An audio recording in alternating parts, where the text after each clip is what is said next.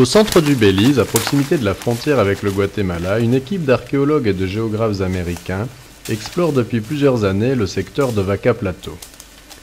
Dans cette zone calcaire, criblée de grottes et de gouffres, de nombreux vestiges mayas ont été découverts, aujourd'hui envahis par la jungle. Des spéléologues costaricains et français se sont joints aux Américains pour poursuivre l'exploration des innombrables gouffres de la zone à la recherche de poteries mayas. Le camp a été installé près d'une ancienne pyramide.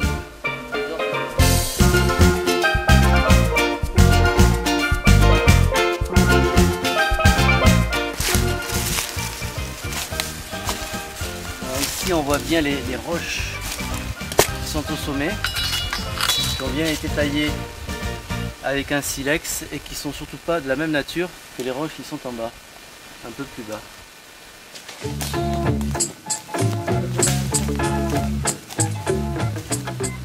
La prospection dans la forêt débute. Rapidement, un premier gouffre est découvert.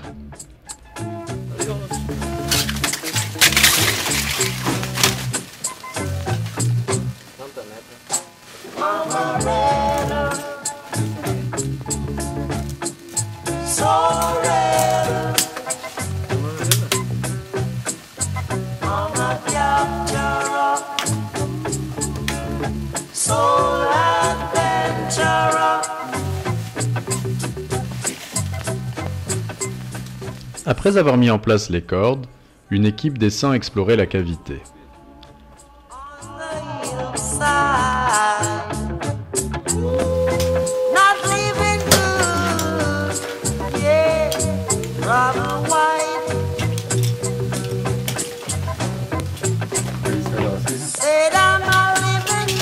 La chance est au rendez-vous.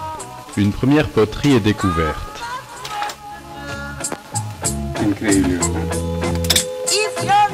Cette jarre, dont le col est sobrement décoré, a été déposée il y a près de mille ans en offrande au dieu du monde souterrain.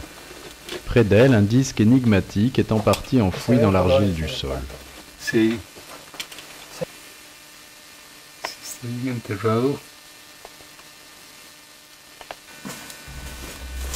Très excités par cette première découverte, nous multiplions les visites de cavités.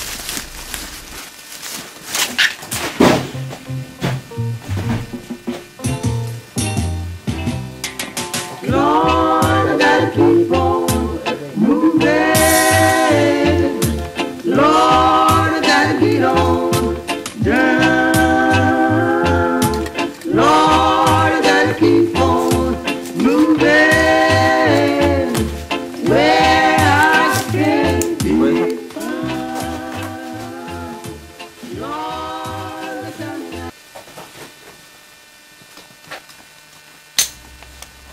La prospection et les explorations de gouffres se poursuivent avec plus ou moins de bonheur.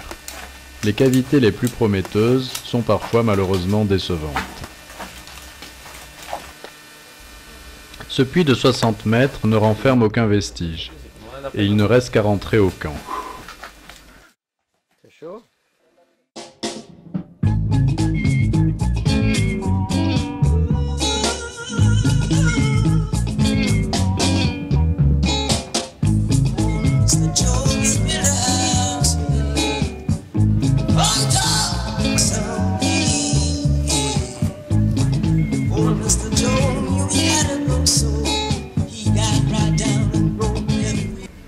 L'excellente cuisine de Phil Reader a vite fait de remettre l'équipe en forme. Heureusement, certaines cavités contiennent de véritables merveilles. Dans celles-ci, des dizaines de poteries, d'armes et de parures ont été découvertes. Leur étude permettra peut-être de mieux connaître les anciens habitants de cette zone. Des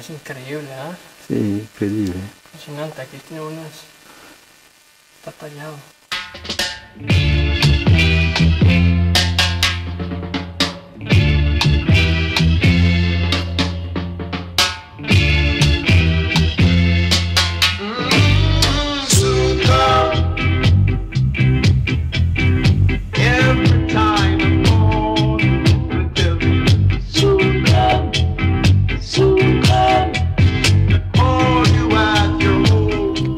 en silex sont posés sur le sol entre les poteries.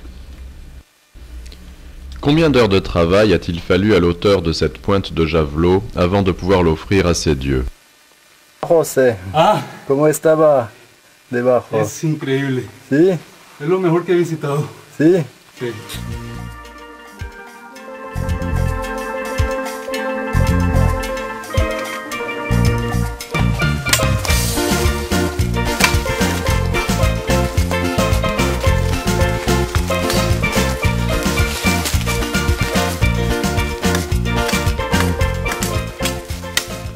Le hasard fait souvent bien les choses.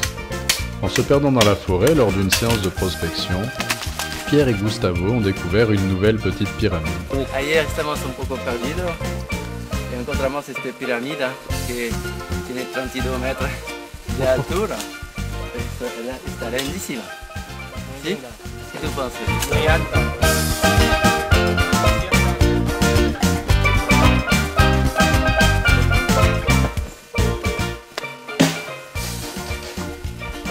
Il n'y a pas de point d'eau sur le plateau et nos réserves ont diminué de façon inquiétante car certains bidons se sont percés. Non loin du camp, une ancienne citerne avait été aménagée par les Mayas. Malgré notre dégoût, il nous faudra boire cette décoction peu engageante en la faisant bouillir et en rajoutant quelques pastilles désinfectantes. Heureusement, une pluie salutaire ne tarde pas à arroser le camp et nous permet de rétablir nos réserves.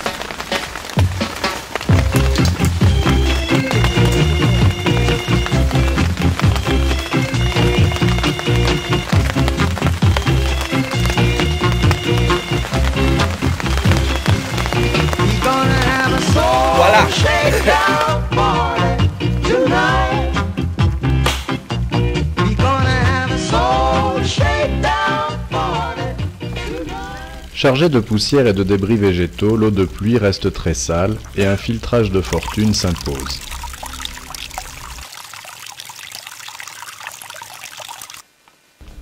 Nos réserves sont reconstituées et la prospection se poursuit normalement dans la forêt. Vers la fin de l'expédition, nous avons la chance de faire une nouvelle découverte. Un groupe de stalagmites a été sculpté à l'entrée d'une grotte. Certaines ont été pillées par les chicleros, mais il reste une petite tête. Bien que très sommaire, elle rappelle les sculptures découvertes au Péten il y a quelques années par les spéléologues Michel Siffre et Gérard Capa. Elles sont impossibles à dater, mais pourraient être l'œuvre des peuples qui ont précédé les Mayas. Alors là, on voit bien les deux yeux. Là, on voit bien la bouche. Il reste plus grand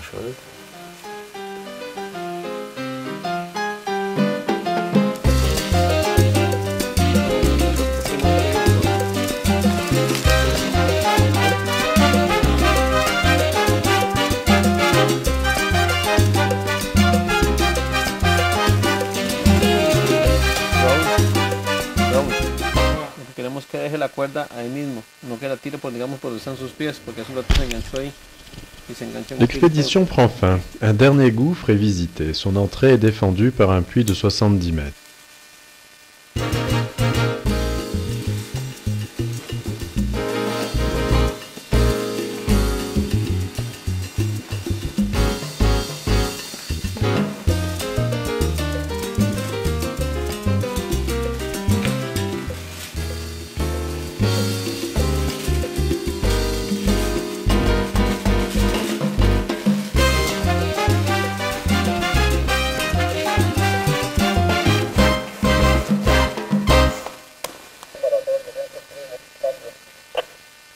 Ok, nada más tenga mucho cuidado a la hora de cruzar el nudo, ok? Cambio.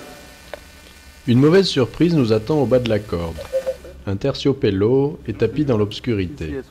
Cette énorme vipère est mortelle, et bien que paraissant peu agressive, nous préférons la tuer pour visiter la grotte en toute sécurité.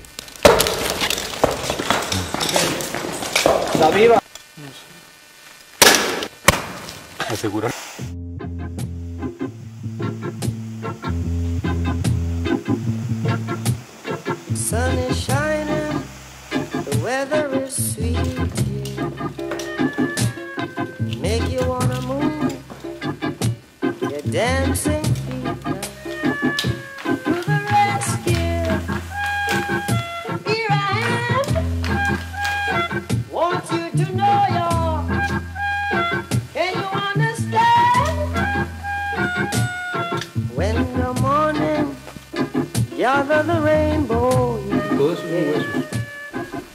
Dans un recoin de la grotte, nous découvrons un secteur où de nombreuses concrétions jonchent le sol.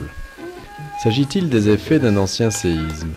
Cela peut-il expliquer le déclin de cette cité aujourd'hui perdue dans la jungle?